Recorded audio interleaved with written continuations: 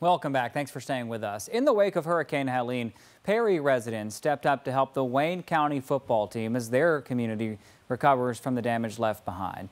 Before tonight's game with the Panthers, the Yellow Jackets were invited to Cross Point Church for a home-cooked meal and a proper send-off for the players since that game was moved to Perry.